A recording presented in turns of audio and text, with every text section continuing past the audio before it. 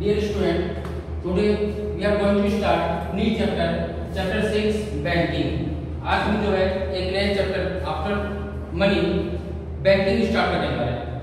और हम देखेंगे कि बैंकिंग सिस्टम में क्या क्या चीज़ें आती हैं और कौन कौन से प्रोसेस हैं जिसके द्वारा देश की इकोनॉमी को आगे बढ़ाया जा सकता है बैंकिंग सिस्टम के थ्रू ना हर एक देश का एक बैंक होता है एक एपेक्स बैंक होता है। जैसे हमारे देश में apex bank central bank of कौन है? आरबीआई सेंट्रल बैंक कौन है? केंद्रीय बैंक आरबीआई जिसे हम रिज़र्व बैंक ऑफ़ इंडिया कहते हैं।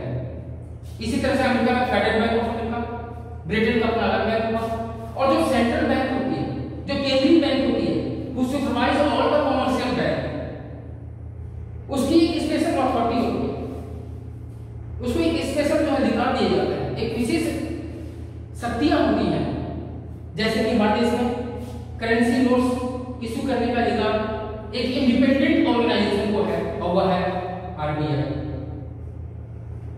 न ही उस पर केंद्र सरकार का सेंट्रल गवर्नमेंट का, और न ही उसका स्टेट गवर्नमेंट का उस पर अधिकार होता है, न ही सुप्रीम कोर्ट का। ये एक स्वतंत्र संस्था है हाँ लेकिन ये सेंट्रल गवर्नमेंट के एडवाइस पे उनके सलाह पे उनके बताए गए निर्देश पे काम करती है लेकिन इसके अपने एक अलग इंडिपेंडेंट डिसीज़न होते हैं देश की इकोनॉमी को देखते हुए इन्फ्लेशन डिफ्लेशन कंडीशन को देखते हुए केंद्रीय सरकार यानी सेंट्रल गवर्नमेंट समय समय पे उनको एडवाइस देती है और उसी के आधार पर जो है वो अपने मनी को सर्कुलेट करती है जैसे कि आपने देखा 2008 में इकोनॉमिक डिप्रेशन आया, आर्थिक मंदी आई, और इस समय भी वही चल रहा है। और आर्थिक मंदी में क्या होता है? आर्थिक मंदी में बेरोजगारी बहुत बढ़ती है। ठीक है? तमाम तरह की समस्याएँ आती और इन सब समस्याओं को देखते हुए इन्फ्लेशन डिप्रेशन को देखते हुए ही गवर्नमेंट के पास एक अधिकार होता है, जिसे हम कहते हैं फ़िज़िकल पॉलिसी राजकोषीय। और गवर्नमेंट के बाद जो बैंकिंग के पास अधिकार होता है जिससे वो इन्फ्लेशन डिप्रेशन को कंट्रोल करती है उसे हम कहते हैं मॉनेटरी पॉलिसी मौद्रिक नीति मौद्रिक नीति यानी monetary policy implemented by only RBI reserve bank of India now First of all, in this chapter, we can see process of money creation by commercial bank. Commercial bank means व्यापारिक bank व्यापारिक bank किसे कहते हैं वह bank जो reserve bank of India की जो हमारी केंद्रीय बैंक है उसके नियंत्रण में under the supervision under the control by the RBI उसी के अंडर में काम करती है RBI implemented rule and regulation and all the commercial bank there are total 19 commercial bank in our country follow the rule and term and condition आप कोई भी commercial bank उसके बनाए हुए नियम कानून को तोड़ नहीं सकता yes there are total 19 commercial bank in 1969 ध्यान दीजिएगा 1969 में जो है 14 कॉमर्शियल बैंक थे बाद में फिर 6 और जोड़ लिए गए 20 हो गए फिर उसमें से एक बैंक को जो है मर्ज कर दिया गया Punjab bank and Sindh bank है तो इस तरह से टोटल कॉमर्शियल बैंक की संख्या जो है 92 और प्रेजेंट टाइम में और मर्ज किया जा रहा है। कई सारे कॉमर्शियल बैंक दो तीन कॉमर्शियल बैंक को मर्ज करके एक ही बैंक में विलय कर दिया जा रहा है।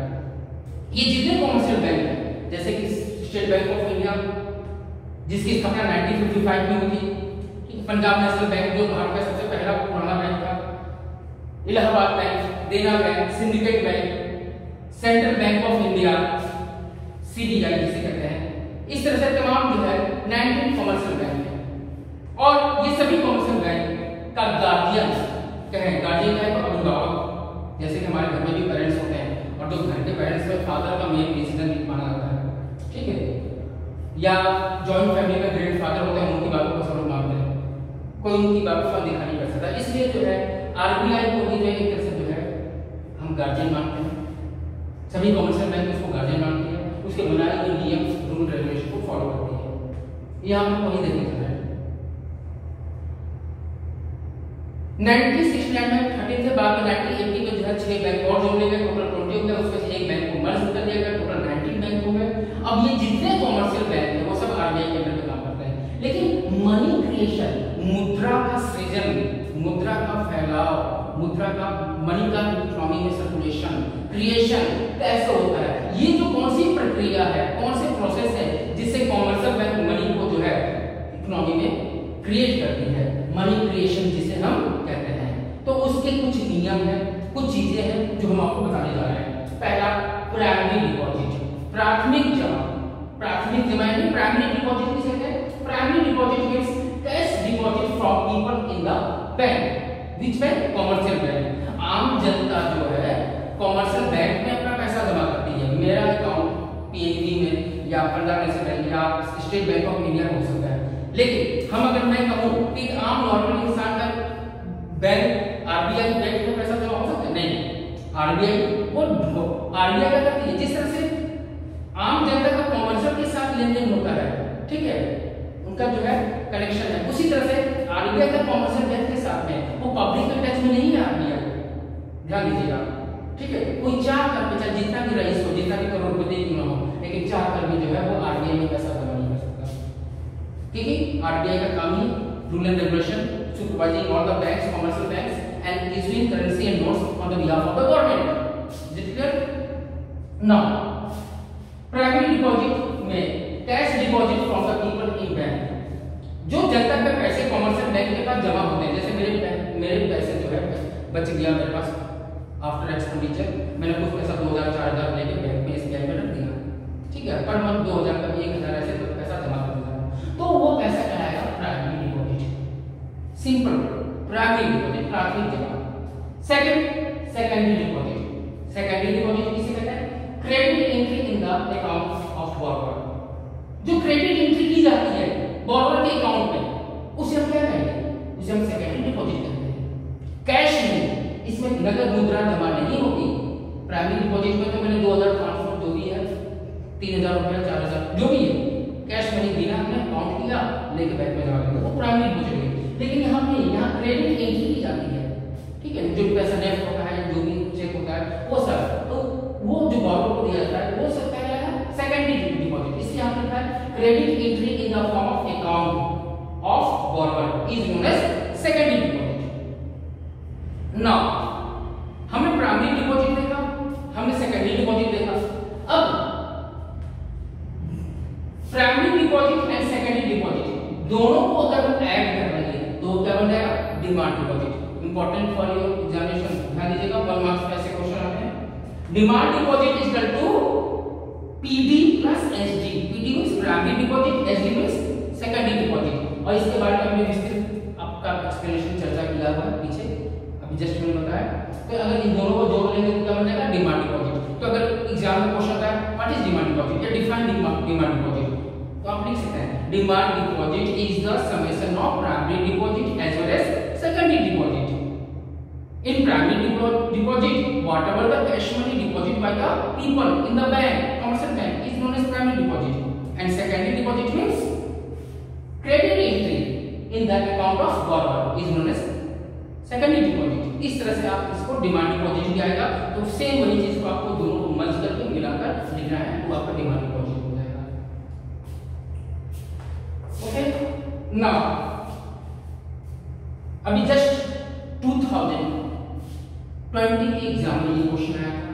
और अल्टरनेट करके, ध्यान दीजिएगा अल्टरनेट करके ये जो टॉपिक बताने जा रहे हैं, आपका लॉन्ग क्वेश्चन सिक्स मार्क्स का क्वेश्चन ये आता है।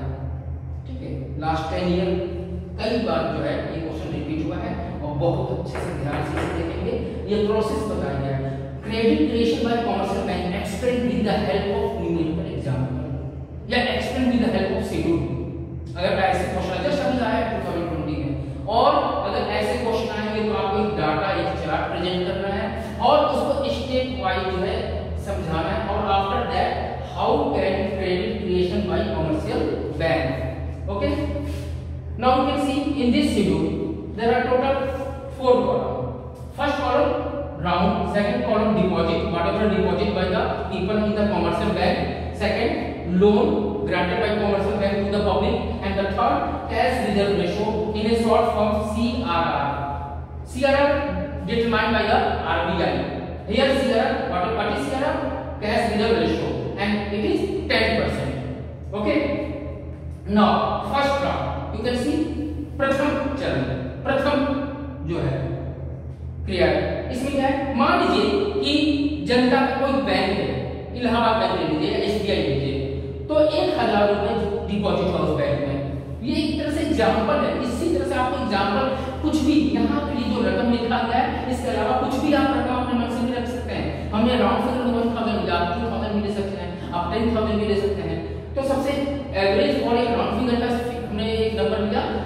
एक हज़ार रुपये और एक हज़ार रुपये अगर बैंक में जमा जनता ने किए, कई सारी जनता है, ठीक है, बहुत सारे लोग हैं, एक हज़ार रुपये जमा किए। तो बैंक क्या करता है? बैंक का खुद का पैसा नहीं होता भाई।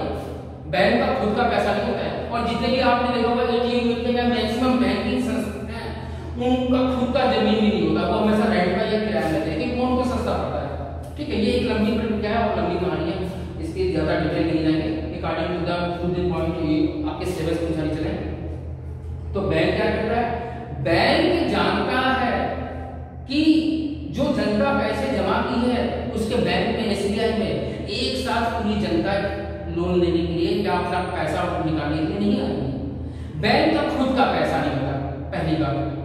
वह एक हाथ से पैसा लेती है और दूसरे हाथ से किसी अगले बंदे को देती है।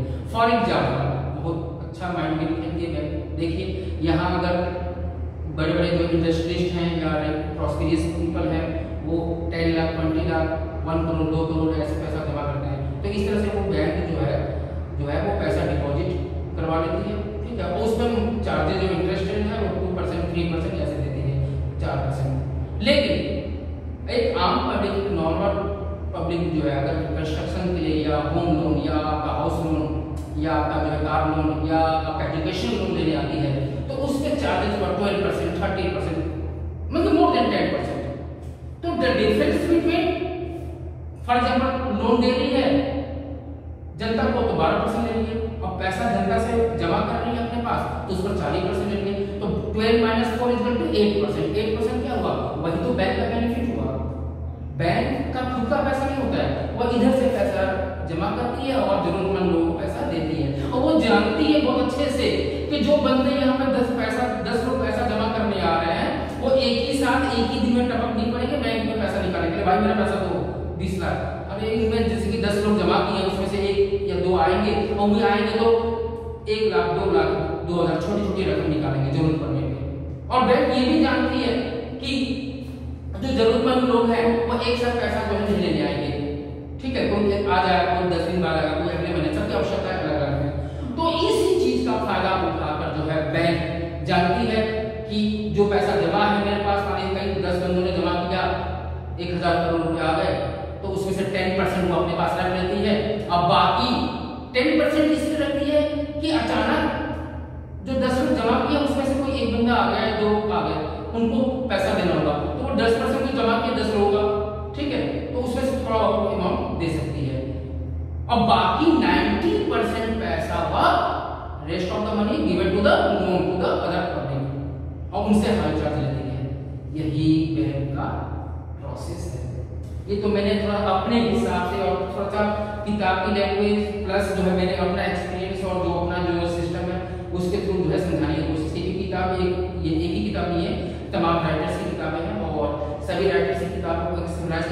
एक स्टेप जाता है कि कैसे इसको इजी से इजी तरीके से बच्चों के सामने प्रेजेंट किया जाए नाउ ये तो रहा। तो एक हज़ार का हमारे जो बैंक का जमा है। तो एक हज़ार का टेन परसेंट हमने यहाँ लिखा है। देखो first round bank receive deposit is 1000 CRR वो डिटरमाइन reserve ratio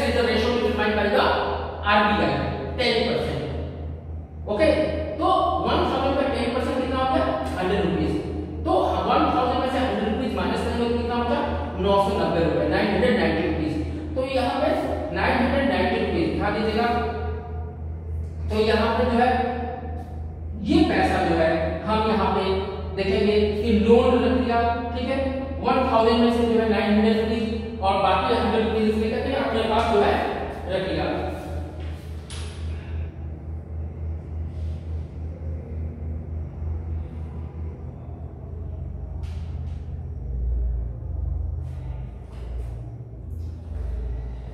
हाँ अपने पास रख लिया तो यहाँ पर हम देखेंगे नाइन हंड्रेड सॉरी यहाँ पर होगा आपका नाइन हंड्रेड ठीक है नाइन हंड्रेड तो वन थाउज़ेंड का अगर टेन परसेंट निकालेंगे हंड्रेड रुपीज़ तो हंड्रेड रुपीज़ निकल जाए यहाँ बचा नाइन हंड्रेड तो नाइन हंड्रेड इसने लोन दे दिया और हंड्रेड रुपीज़ इसने अपने पास कैश रिज़र्व रेशो में रख लिया ठीक है और ये क्या है cash reserve ratio what is CRR ध्यान दीजिएगा सीआरआर क्या है तो CRR is a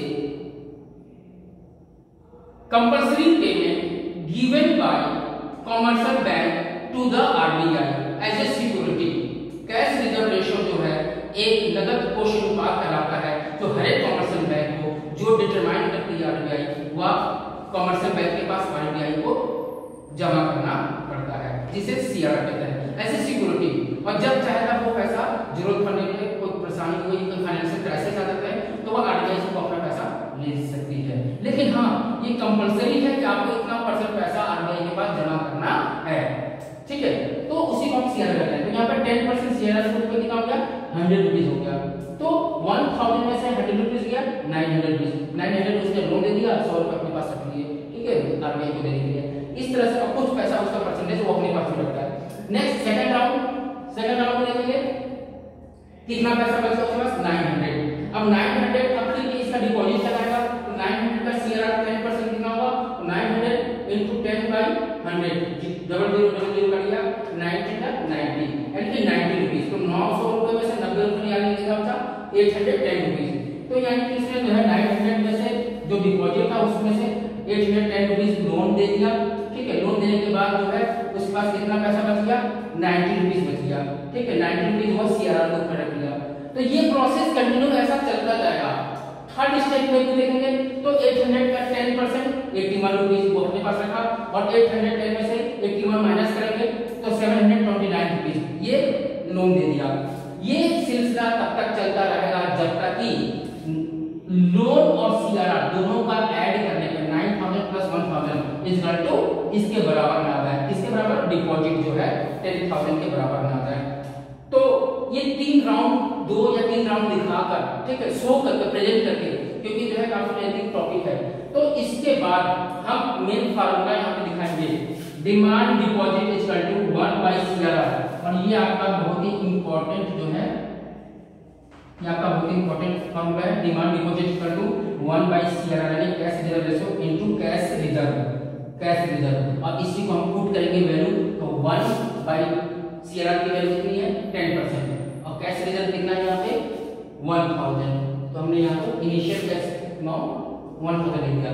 इसको हमने सॉल्व किया तो 10 into 1000 is equal to 10000 10000 यानी कि मनी क्रिएशन हुआ। मनी क्रिएशन कितना हुआ? 10000 तो इस तरह से हम कह सकते हैं कि money creation depend on two factor और वो दो फैक्टर बहुत इंपॉर्टेंट ध्यान देना। फ़र्स्ट कैश बैलेंस जिसे हम इमरजेंसी फंड भी कहते हैं। यानी कि मनी क्रिएशन कैश बैलेंस पे डिपेंड करता है।